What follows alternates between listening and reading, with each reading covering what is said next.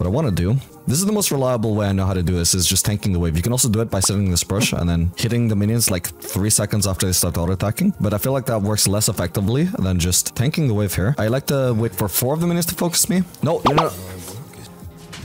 Why do I bother teaching ADC, man? Like, if I was teaching mid lane macro, that would be so much more useful because there's nobody in the lane ruining my fucking macro, man. Oh, for the love. Bot lane, man.